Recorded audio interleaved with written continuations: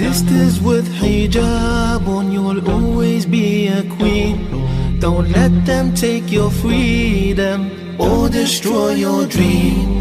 They say that you're a press girl, but you are truly free. She wears it Sanji's Dream Zone. Subscribe my channel please.